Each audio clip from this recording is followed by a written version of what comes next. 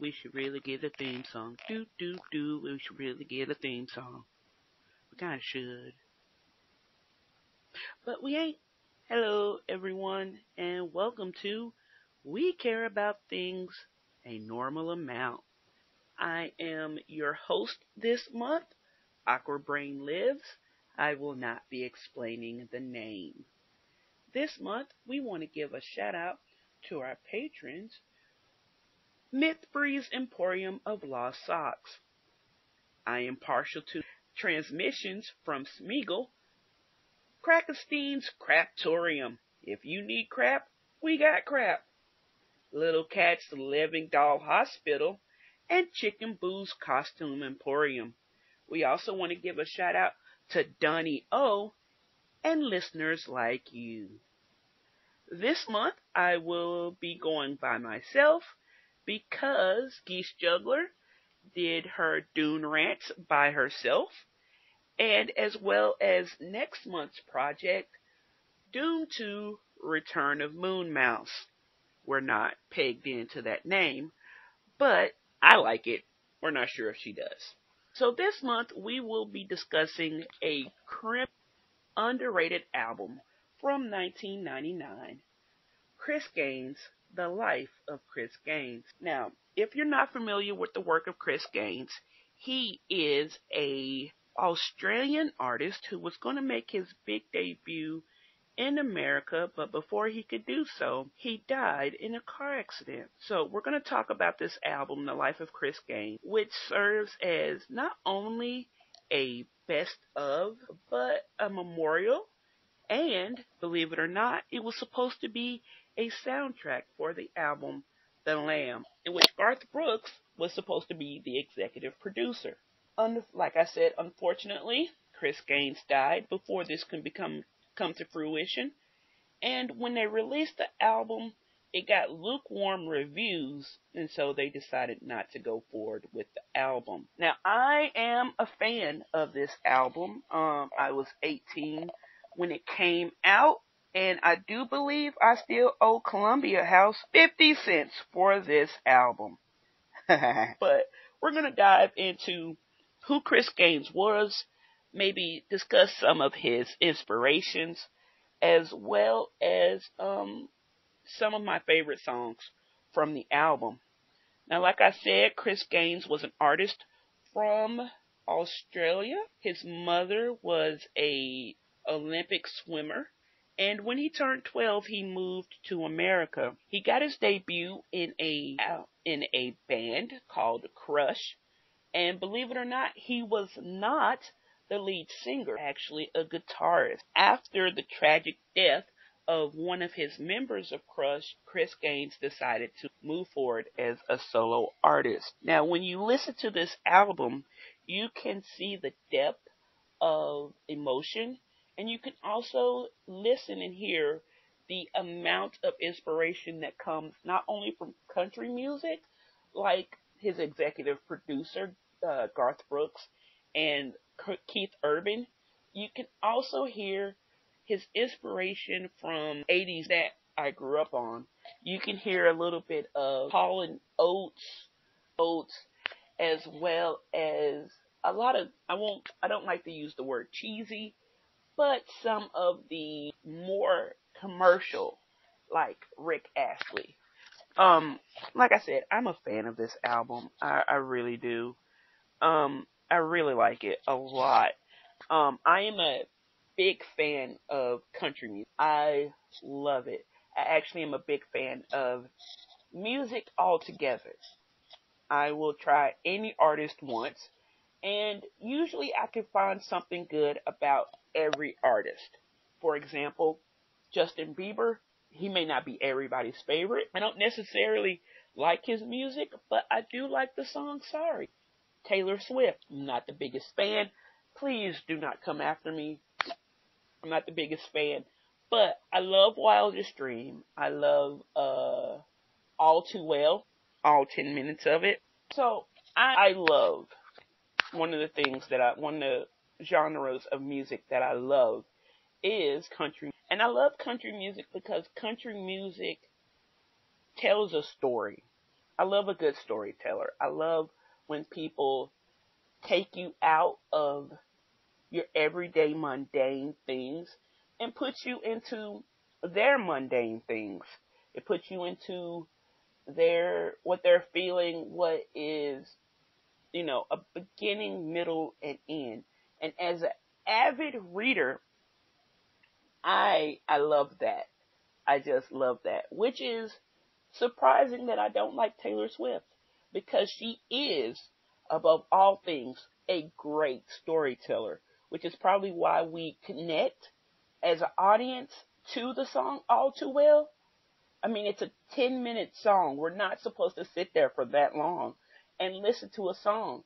But we're not listening to a song. We're listening to a story about a relationship between two people who, truthfully enough, should not have been together.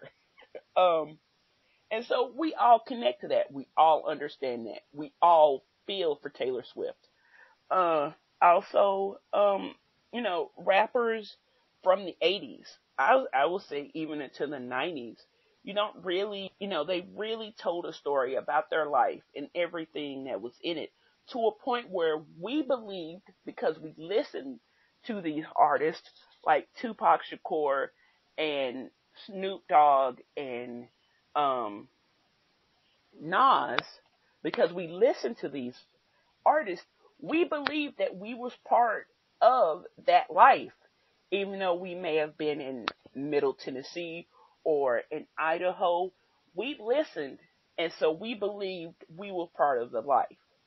Um, see that example in BTS, Spring Day. If you've never looked up the lyrics to the song Spring Day, it tells a story about a love, it's a love story about two people who can't be together. And it's amazing you know, the music to it and just, just, oh my gosh. Spring Day, if you listen, if you talk to any BTS fan and you ask them what is their favorite B track, they will tell you Spring Day. Oh my gosh. Um, we have yet to come where they're talking about, you know, coming through the pandemic and how they miss everyone and that even though things may seem bleak at the moment, it's not. What we're going through right now, it's not everything we're going through. The best is yet to come. We're looking forward. We're not looking back. We're looking forward. And uh it it it it touches us. It speaks to us. There's artists that I'm sure you have artists in your life or artists that you have listened to and it has transformed you into their life into what, you know, what they're dealing with every day. Now, don't get me wrong. We like a good, a good bounce song. We love to move. We love to dance. But sometimes when you're, when you're feeling it, you want to feel what they feel. Um, another good example is actually Garth Brooks. There's a song called, um, More Than a Memory.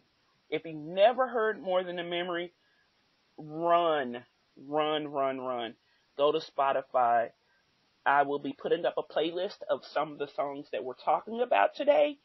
And his heartbreak in that song.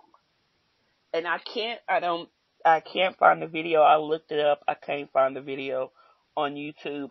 But he's talking about how relationships are not just, you know, once you're done with the relationship, once you break up, it's that person is still in your heart. It still lingers. There are still things that you miss about this person to a point where that person still lives with you and you don't know how to deal with that person not being around and everybody's telling you to move on. You're just, you know, you're putting it in rose colored glasses. This is a memory.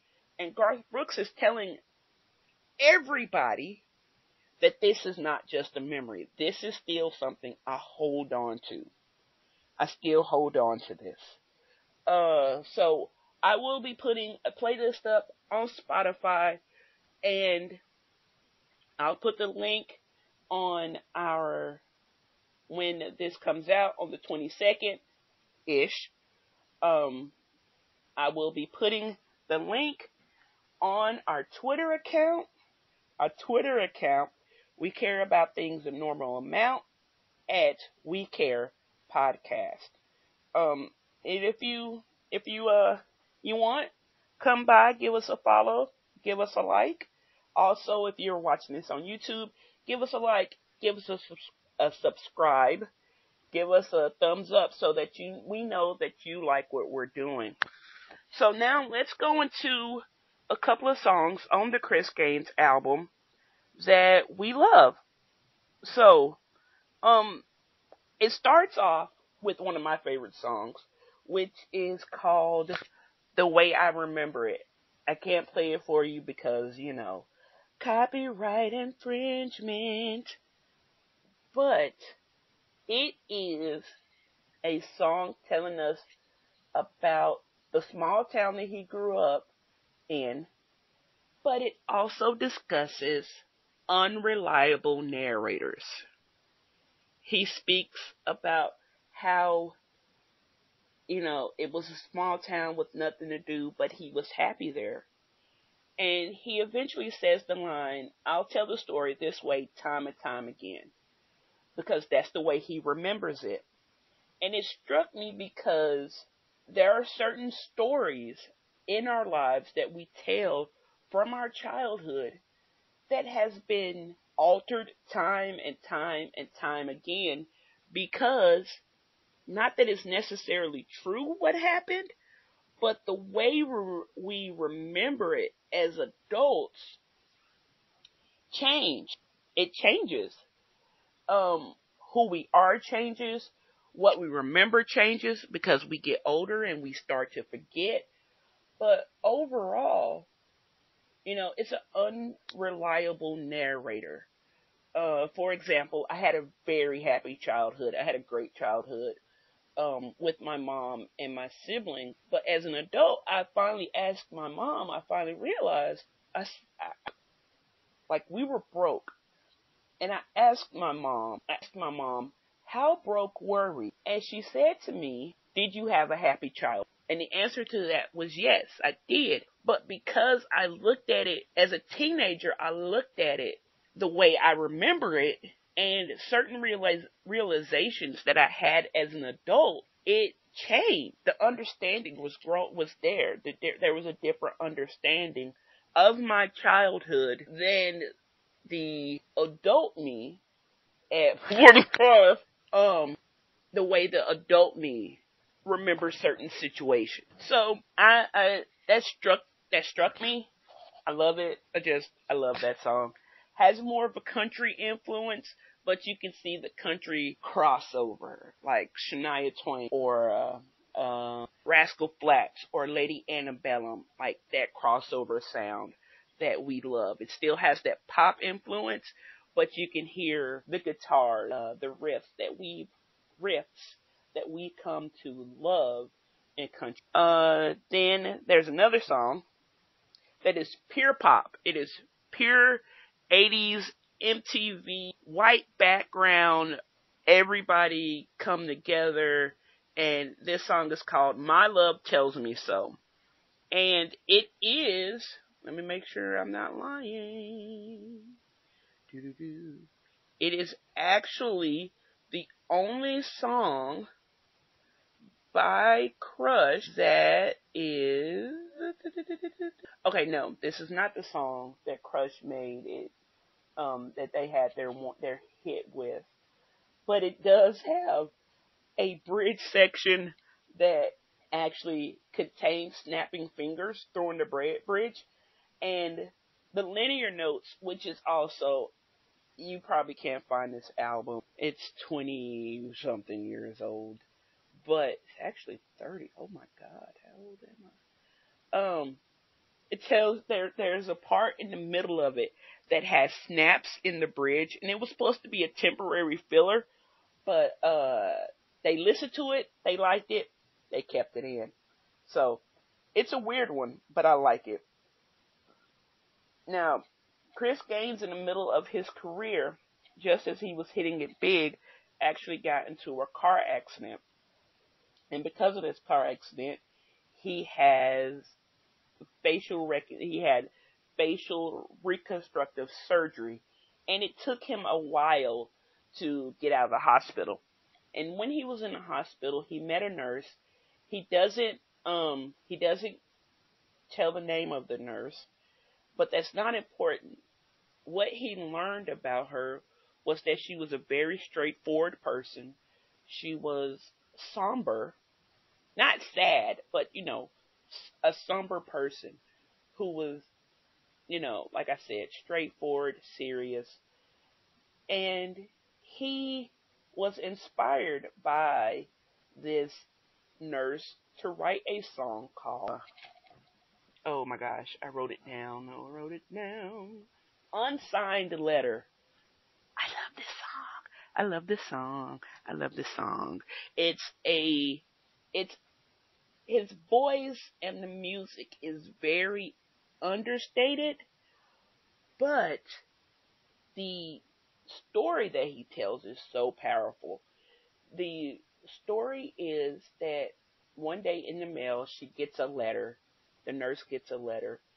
And the letter states, it just says, come to me. And inside the letter is a first class ticket to the city of Boston.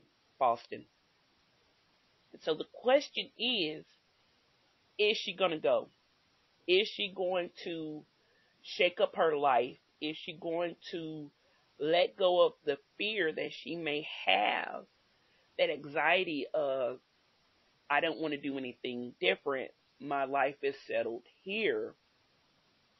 Or is she going to take that chance? Is she going to run for it? Is she going to find out the mystery and the intrigue that's behind this letter? And it, it's such a great story, but it's also a story of inspiration. Chris Gaines looked outside himself for inspiration in the stories of his life, and he looked at his nurse and found a story there. It's like when you go out to the mall and you people watch. I'm not sure if you guys do that, but I do. And I absolutely adore it because I people watch and I just make up stories about people. And, you know, it doesn't matter if you're right or wrong, if this story is the actual story of their life. It just, it's fun. It's fun to imagine. So I just, I love it. Um, so also next song we're to discuss is the song Maybe. Uh, Maybe is a conversation that Chris Gaines has with the band member who so tragically died in a car accident. He writes them, he basically has this conversation about what is he supposed to do next? Can he be the person that he needs to be? And it's also the the ending has these violins that it makes it seem like Chris is finally letting go of the grief and the anger that is living inside of him because it it you know when you lose someone in a heartbeat you get angry let's put it this way i know i did I know I have. Because you don't want to deal with the grief. So you go with an emotion that you're familiar with. Anger. And so I think writing this song and recording this song made it a way for Chris to let go of the anger that he may have had towards his band member and everybody that was around him and was really able to process the grief of his friend going, his friend dying, and and being left alone. So Chris really does uh, sell it. He really does, you know, let us know what he is thinking and what he imagines what his his friend is doing uh what his friend is doing now he you know very subtly subtle in a subtle way chris shows us his belief his faith and again his emotion towards his friend that died so it's it's oh my gosh, I love that song. Another song.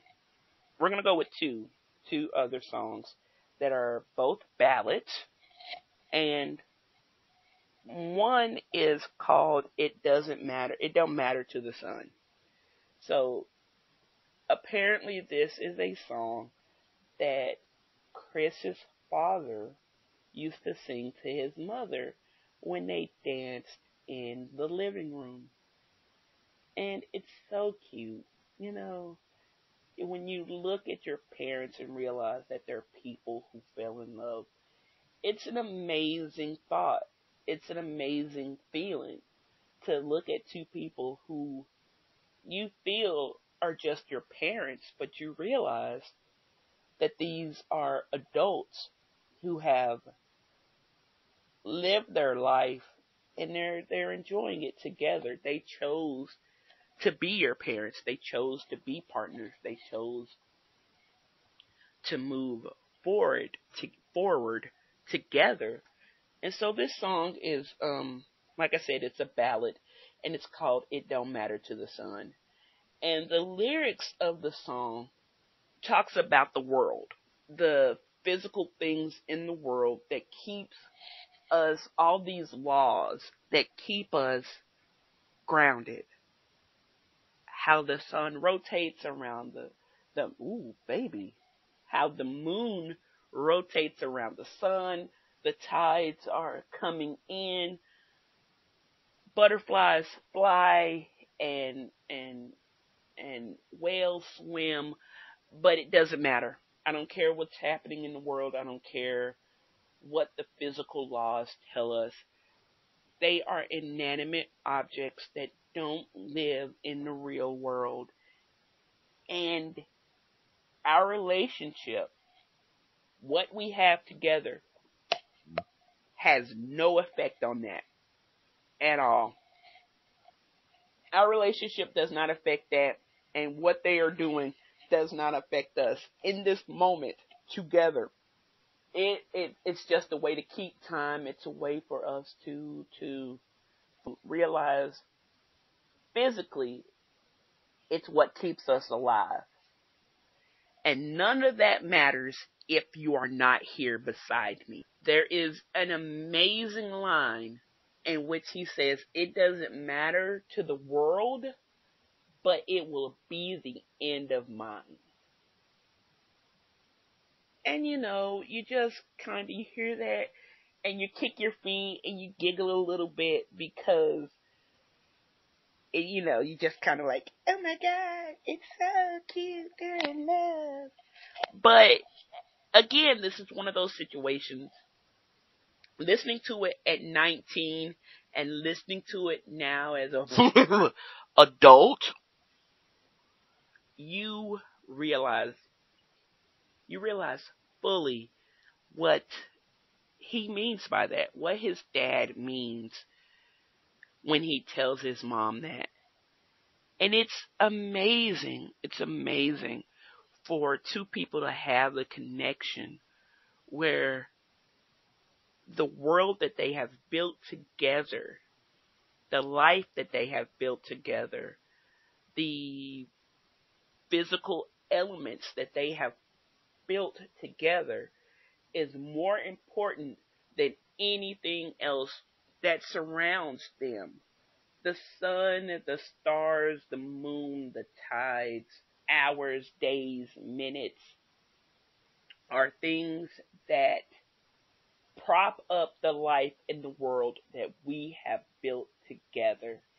And it's it's just the cutest. I love it. It's a simple it's a simple thing um, but it just, it, it, oh my gosh, it's just so great. uh, we are gonna discuss the song that most people are familiar with, the song that people love, the song that made people go, oh my god, it's amazing. And then they didn't listen to the album. Listen to the album. Um, this album, this song is called Lost in You. And again, we kick our feet and we blush and we go, oh my god, it's so cute. But this song is probably the most adult song. And I don't mean that way. That's creepy. You all should get your minds together. You know who you are. When I when I say it's the most adult, I mean it's the most emotional. I guess. Uh it's the most I don't know how to put it.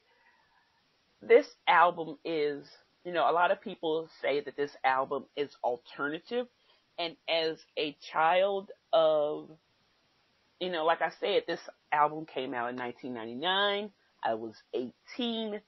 I was big into the alternative scene, you know, Chris, not Chris Gaines, oh my gosh, uh, Foo Fighters and Nirvana and um, Matchbox 20 and all of these bands that made rock music, but it really wasn't rock music.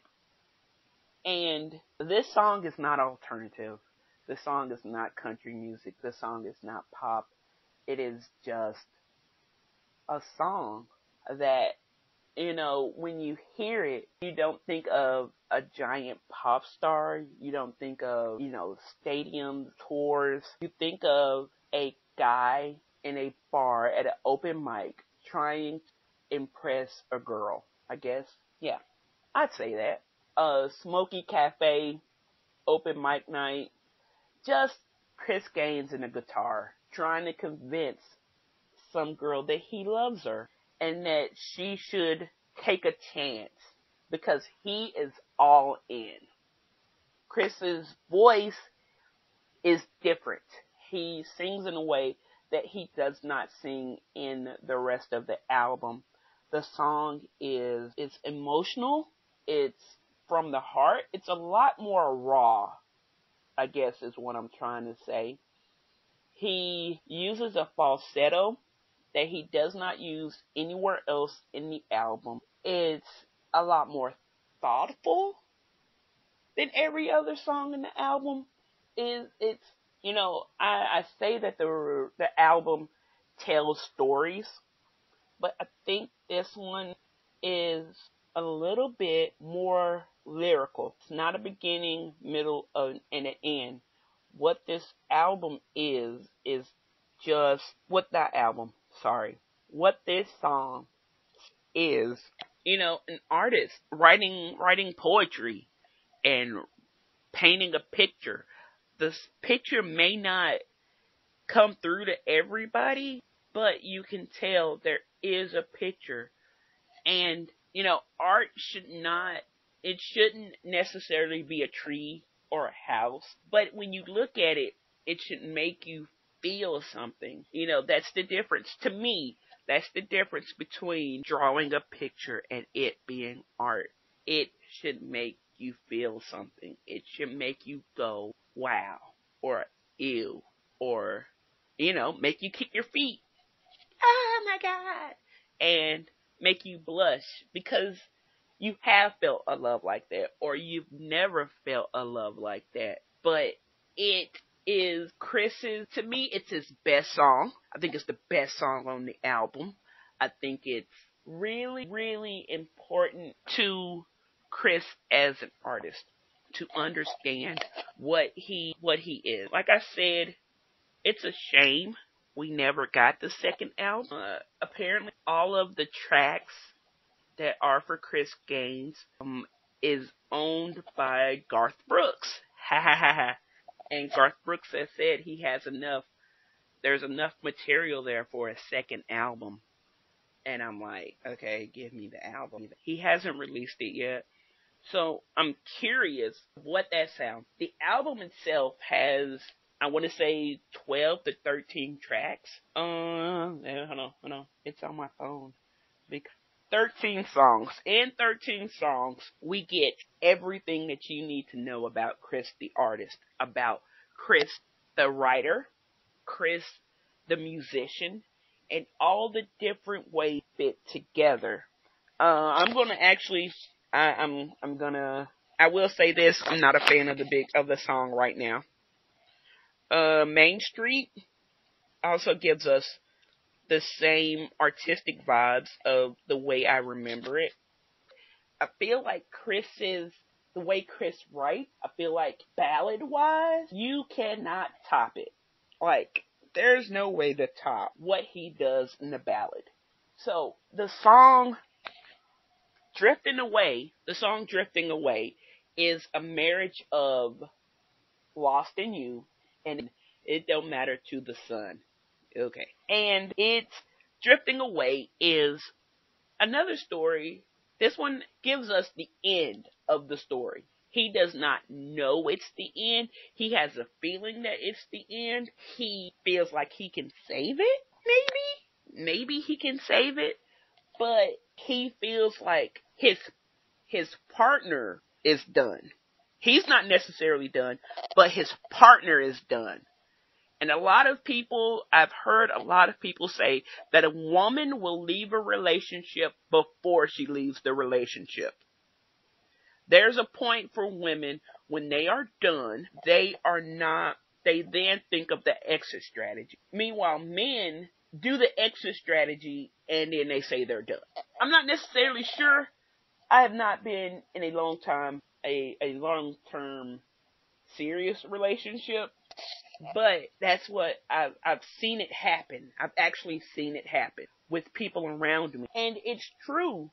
And what, what Chris is trying to do is he is trying to pull somebody who is drifting away back to him. But he's not sure how to do it. And he's afraid that he can't, he's afraid that he can't do it. And it's very, it's very powerful how he brings this back. And with the background singers and his emotion of the song, it just, it takes you that relationship. And not in a voyeuristic way where we're like sitting on the couch eating popcorn or not in a weird way where we're like, should we leave now? Like, I think they're breaking up. I think we should leave now. You know, this is awkward. Uh, but in a way where we feel for these two people. We feel for him and we feel for her because, you know, he, he says there's a line where he says he's afraid that she's forgiven him too many times. And you feel for her because it sometimes forgiving somebody takes so much out of you that not a, it's not, it's not worth, not worth it anymore. You've taken so much of me if you keep doing the same thing over and over again. And, you know, you just kind of want to hug them both and be like, oh, buddy, you shouldn't be here anymore. Sorry. Like, oh, buddy.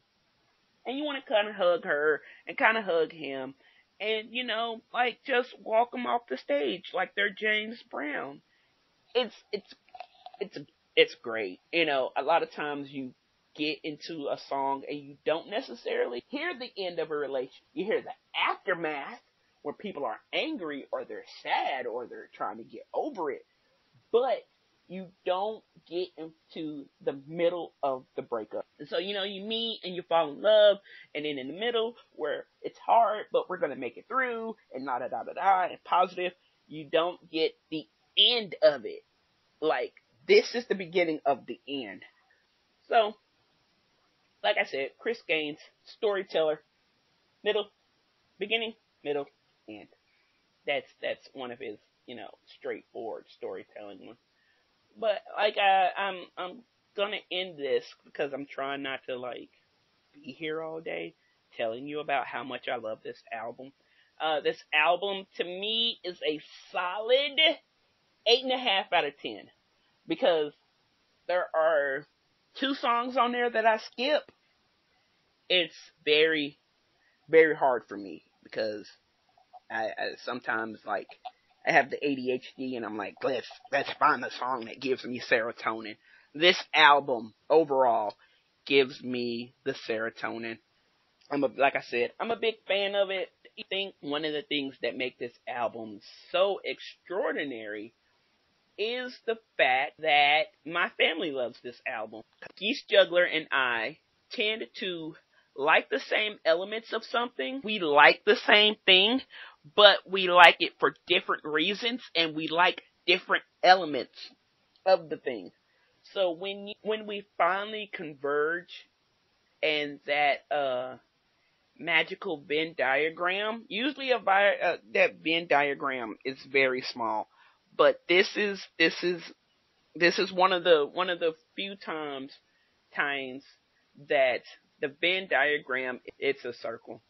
When I asked her about whether or not I should do this, where I talk about the album and maybe do an introduction to people who've never heard the album, she um she was enthusiastically on board and then said, You gotta do it by yourself. And I'm happy I did because this, if we had did it together, this would have been six hours of us fighting each other about which one, which piece of the song was the better part. Her favorite song may not have been my favorite song, which is It Doesn't Matter to the Sun. It don't matter to the sun. But in three months, if you ask me again, I'll tell you. It's unsigned letter and in three months it'll be drifting away, and in three months it'll be the way I remember it, and in six months it'll be maybe uh it rotates. Could be like in the end, could be a white flag, could be white flag, one of the songs we didn't discuss today. And then like my rotation and her rotation will never sync up. It'll be three years and we will sync up on the song for two minutes and then we'll keep rotating it. So, uh, I think it's better if I did this by myself. I'm trying to keep this at a tight 45, so we'll see how that goes. But this is, I'm gonna ask a couple of questions. Leave your, leave your answers in the link below or to us. Let us know what your artist, what artist makes you feel like that? What artist tells a story to you? What artist makes you feel like you're in the story, like you're watching you're watching this story like a movie or you're sitting there watching a friend go through these things or a friend is, is venting to you. What song from what album from your childhood is deeper than you thought it was? You're sitting here listening, do do do do do, and then as an adult, you're like, "Whoa, they were going through some stuff." So leave your answers down in the comments or tweet it to us at We Care Podcast. I'd like to thank you for listening to me today. And that's the end of us discussing Chris Gaines. Now, let's get into something that's very important about this album. If you tell me the truth about this album, let me tell you. I know I know the story behind this album. I know what was supposed to be with the movie. I understand who was supposed to be the, you know, who was supposed to be the main character and the ending of the movie. I am, like I said, I have listened to this album since I was 19. I have read the liner notes a thousand times. I am a Garth Brooks super fan. Okay? Now, this is not an invitation for you to tag Garth Brooks. This is not an invitation for you to tell Garth Brooks because, to quote Donald Glover, you can't disappoint a picture. I want a second album. Garth Brooks, where is the album? I want the album. And I would like ticket, tickets to your next show. That's not a thousand dollars. I am a poor. I am a poor. Okay? I am a poor. Uh, once again, this has been Awkward Brain Lives. We're gonna once again tell you that the Patreon is we care about things a normal amount and joining our Patreon, you'll get updates, you'll get polls, you get the first listen of the playlist I am going to put up to um of some of the songs that I discussed and a couple more. A couple of them may be T- Bangtan Sonyeondan, BTS, so you're warned up front. The Twitter account is We Care Podcast, and thank you. I thank you. Geese Juggler thanks you for spending time with us and listening.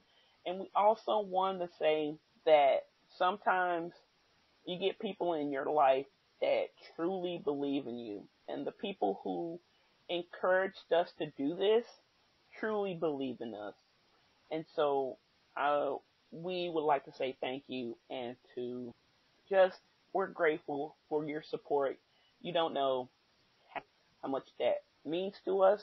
And once again, we would like to give a shout out to Dunny O, Mithri's Emporium of Lost Socks, transmissions from Smeagol 92055, not to be confused with Smeagol 92054, Krakenstein's Craptorium. If you need crap, we got crap. Uh, we also want to give a shout out to Little Cat's Living Doll Hospital and Chicken Boo's Costume Emporium. And once again, listeners like you. I'm going to sign out. I'm going to say goodbye. So long. And uh, I hope you guys have a great day, a great week, a great month. And you join us next week. Not next week. You join us next month on the 22nd ish. And I will be giving the reins over to Geese Juggler.